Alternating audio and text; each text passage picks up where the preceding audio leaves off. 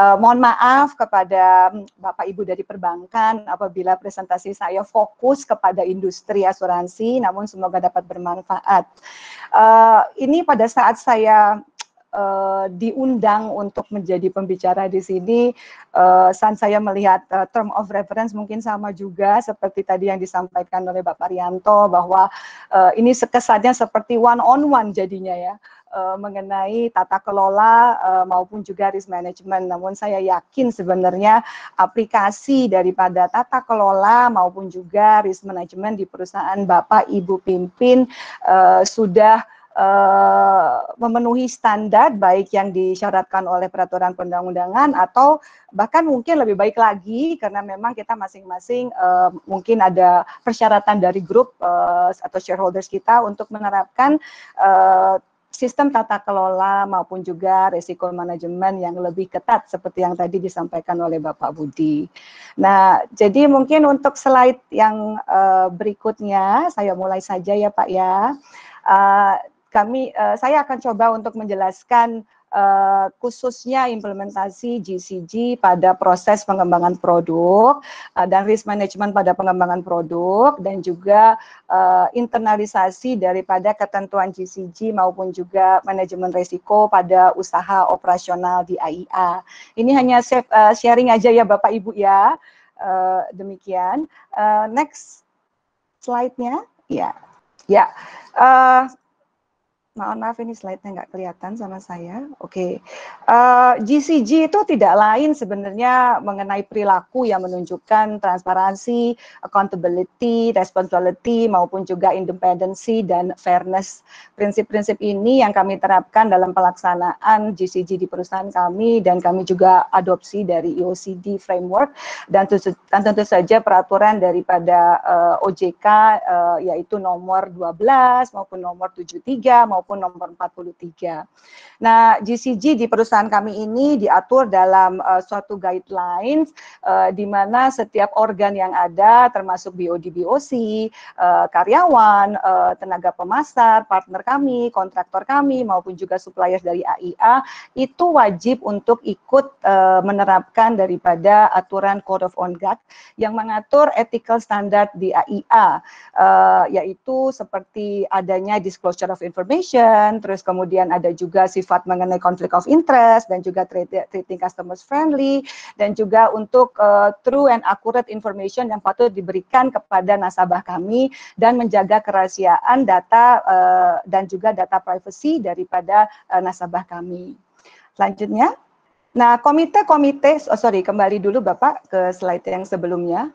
Ini adalah beberapa komite uh, yang ada di dalam uh, perusahaan kami. Komite investasi ini merumuskan kebijakan investasi dan ini semua disyaratkan di dalam peraturan perundang-undangan. Ada komite klaim juga, ada komite pengendalian produk, dia ada market conduct komite yang di sini mengatur segala tindakan uh, untuk uh, etika profesionalisme daripada tenaga pemasar dan ada uh, core of CAA namanya itu Market Conduct uh, Komite Kepatuhan dan Etik di mana fungsinya untuk memonitor pelaksanaan dari tindak atau behavior daripada karyawan kami dan kami juga punya yang namanya IML Komite dan juga aset uh, eh, ILM Komite dan juga Executive Risk Komite. Komite ini satu sama lain sangat berkaitan uh, dan Uh, pada umumnya dihadiri uh, oleh para uh, board of management atau exco yang dikenal di AIA.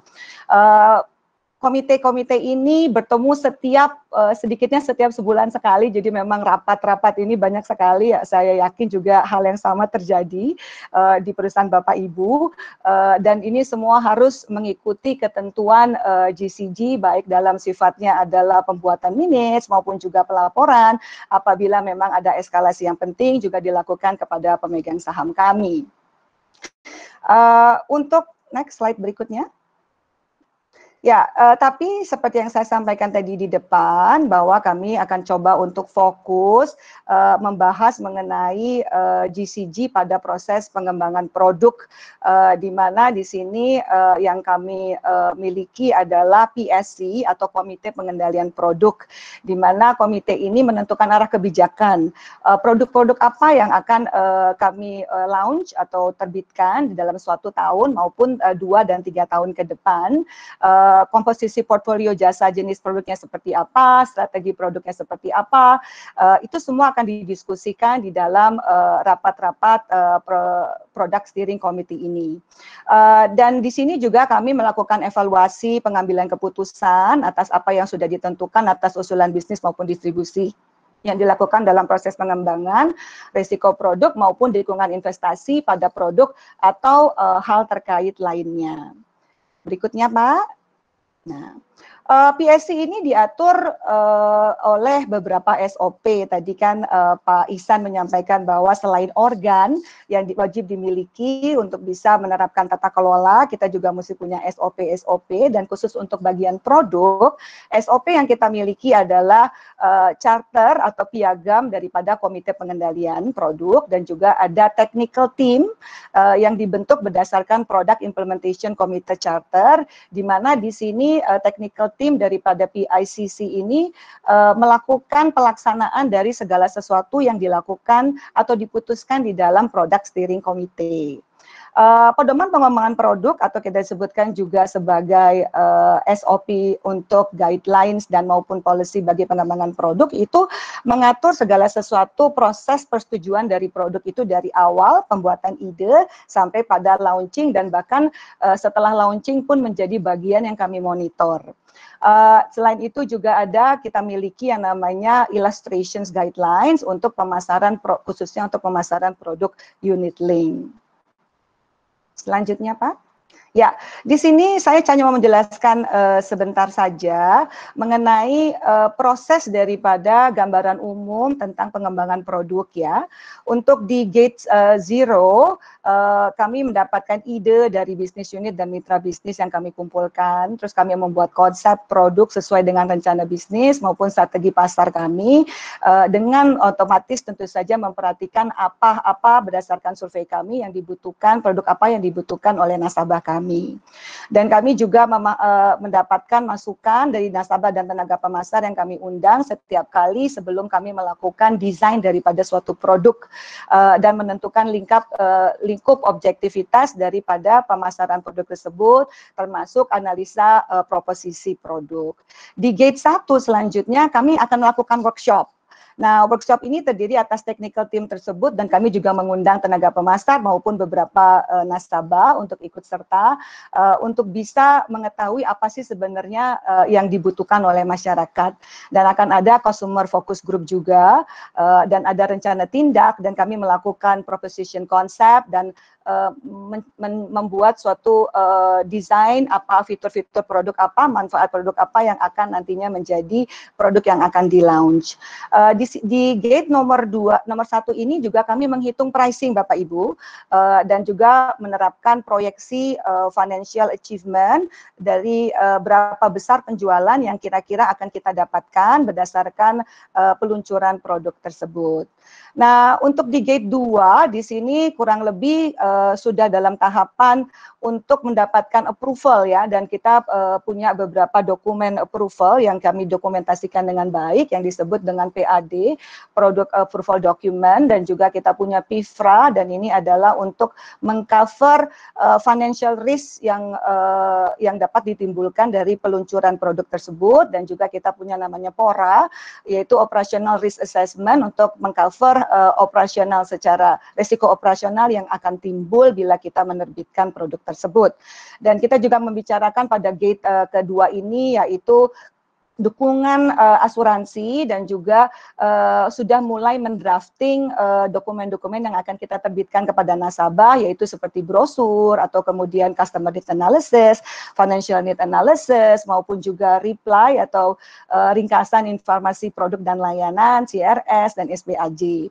Uh, di guide kedua ini juga kami membuat suatu strategi peluncuran, Bapak Ibu, uh, bagaimana kita tanggal, waktu, dan timing untuk submission kepada OJK dan lain-lain itu menjadi bagian daripada gate 2. Di gate 3 kami uh, mulai mengajukan produk Uh, dan persiapan atas semua dokumen dan UAT juga kami uh, perhitungkan di sini uh, dan submission kepada si Jingga apabila memang itu uh, produk dari Bank Assurance maka akan diikuti dengan submission dengan sprint uh, dan akan ada rencana peluncuran dan promosi dan media PR yang dibutuhkan juga akan mulai dibicarakan di dalam gate 3. Di gate 4 kita mencatat uh, 12 bulan pertama penjualan itu seperti apa uh, dan kemudian lesson learn yang kita dapatkan dari peluncuran produk tersebut itu hal-hal apa saja yang nantinya akan menjadi bahan diskusi untuk uh, perubahan atau perbaikan dari produk tersebut.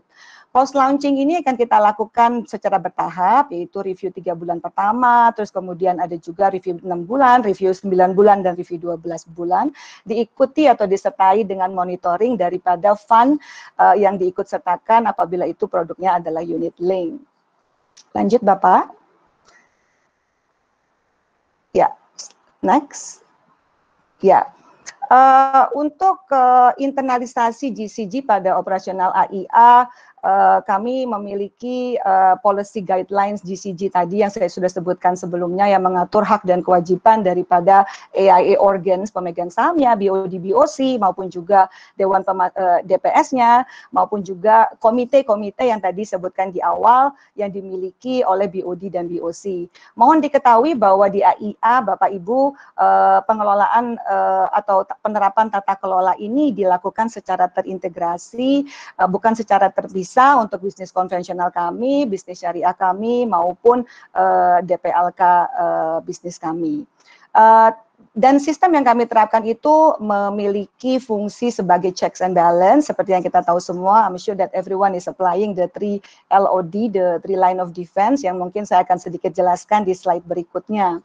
Nah, beberapa prinsip yang uh, ada di AIA yang memiliki rumusan etika adalah uh, mungkin teman-teman di AIA tahu persis ini operating principle kami adalah doing the right thing in the right way with the right people uh, and the right we believe that the right result will come and only in that order. Nah, di sini prinsip-prinsip kami ini mengatur mengenai disclosure of information, conflict of interest, terus kemudian TCF, uh, treating customer fairly, giving dan receiving gift juga kami atur, dan juga confidential information. Dan uh, di AIA kami menerapkan zero tolerance, Bapak Ibu. Apakah itu zero tolerance? Zero tolerance itu artinya AIA punya komitmen untuk membentuk suatu environment yang mendukung honesty dan integrity. Uh, artinya adalah bila kita menerapkan zero tolerance ini, setiap dugaan dari fraud itu wajib untuk diinvestigasi dan apabila terbukti atau substantiated, maka uh, si pelaku daripada fraud tersebut akan menerima sanksi. Dan uh, prinsip ini sangat penting untuk mencegah uh, terjadinya uh, fraud di masa yang akan datang apabila kita menerapkannya secara konsisten. Selanjutnya kami juga menerapkan sistem uh, reward and punishment uh, di mana untuk uh, sanction list kami terapkan untuk sales force kami, kami buat supaya ada konsistensi apabila satu pelanggaran yang satu dengan yang lain itu mendapatkan sanksi yang sama dan kami juga uh, mengapply reward system apabila uh, tenaga pemasar kami secara full uh, melakukan uh, training yang disyaratkan oleh tim kepatuhan uh, ataupun tim risk management dan uh, apabila uh, selama satu tahun tersebut juga terbukti tidak terjadi misconduct itu akan juga ada reward system yang kami terapkan buat tenaga pemasar kami.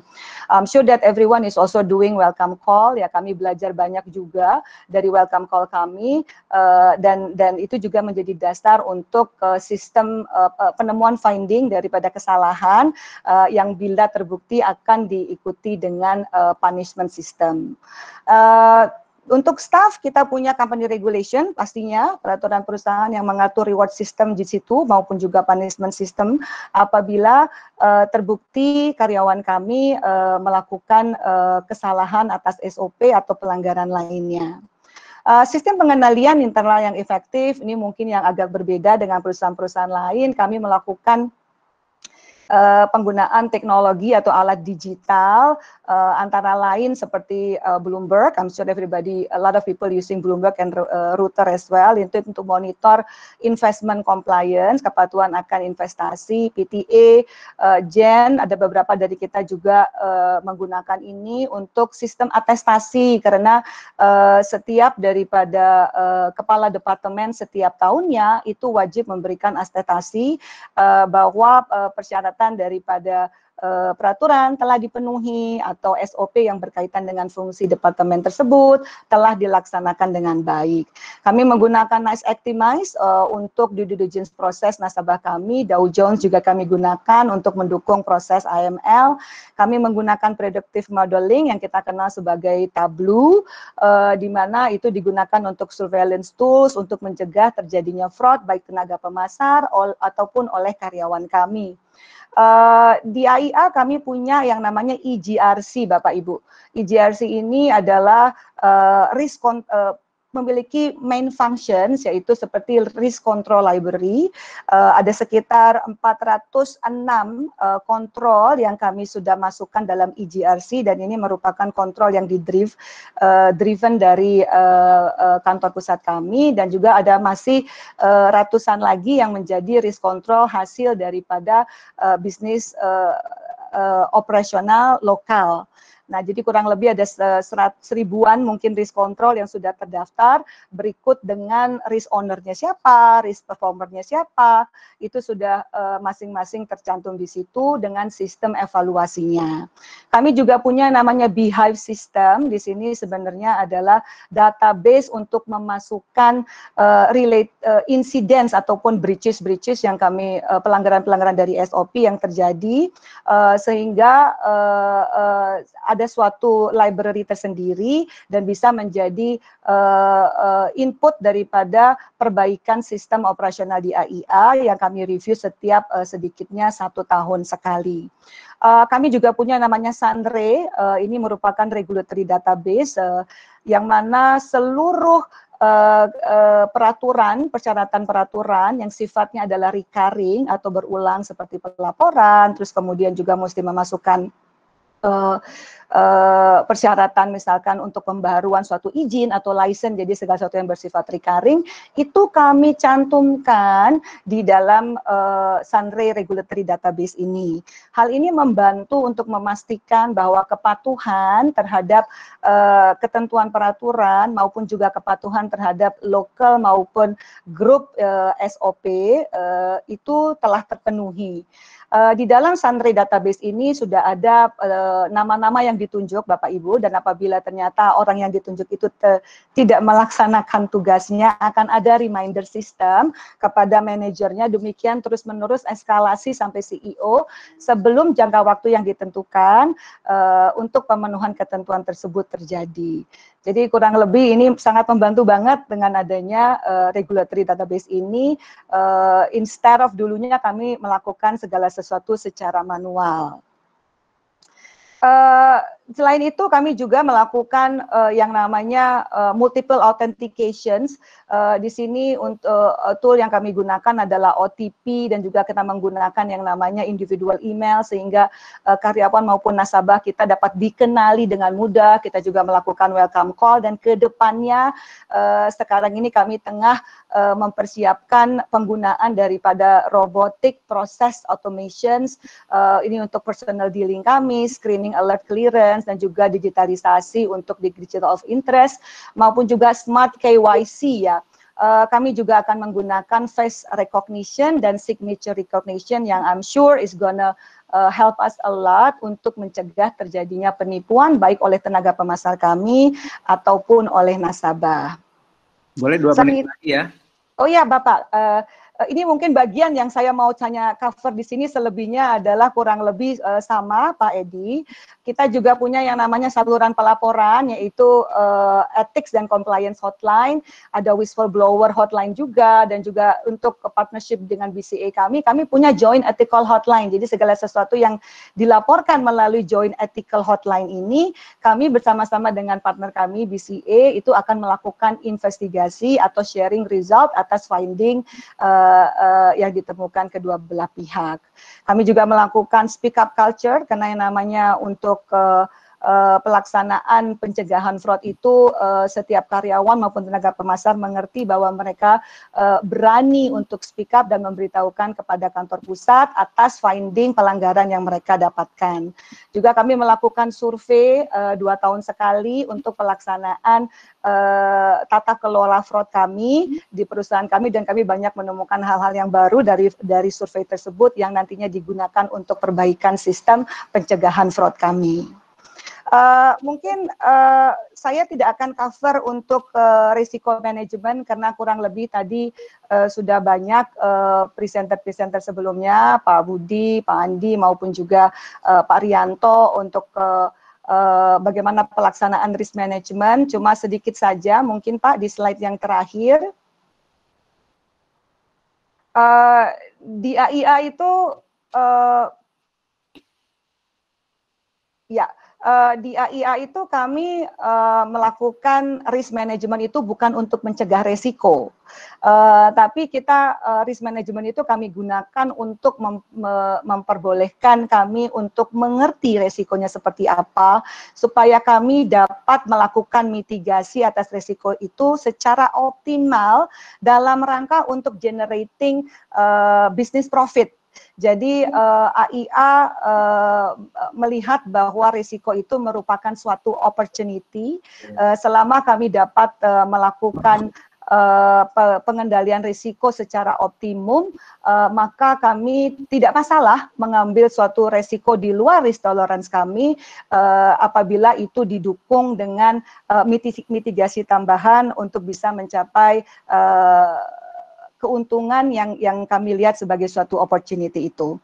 Uh, jadi di bagian terakhir ini ada beberapa mungkin yang saya rasa teman-teman juga masih merasakan uh, kekurangannya yaitu uh, bahwa uh, saat ini fokus pada manajemen resiko itu growing, growing dengan besar sekali, uh, sehingga dan uh, akan ada banyak aturan-aturan baru. Kemarin saya juga uh, mendapatkan suatu uh, permintaan untuk mereview suatu peraturan baru dari OJK, SE OJK mengenai manajemen resiko yang panjang kali lebar, uh, dan itu sepertinya kita akan di, di, diminta untuk disamakan persyaratan-persyaratannya uh, dengan uh, sistem perbankan, uh, risiko manajemen di perbankan dan kita harus siap untuk melakukan tersebut. Jadi fokus pada manajemen risiko ini sangat uh, meningkat dan juga uh, ketergantungan kepada uh, departemen risiko ini juga pastinya akan lebih meningkat untuk menangani masalah risiko.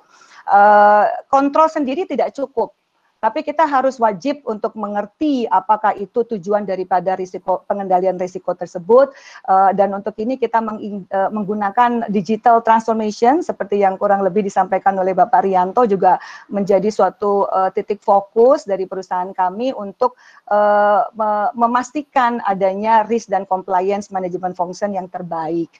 Uh, budaya dan sikap terhadap fundamental terhadap risiko ini juga uh, kami terapkan baik dari awal dalam goal setting kami, remuneration, uh, dan juga risiko manajemen itu menjadi KPI uh, di setiap exco kami sehingga uh, risiko manajemen itu bukan menjadi hanya milik departemen second line yaitu risk dan kepatuhan, tapi itu menjadi business of everyone. Risk is a business of everyone.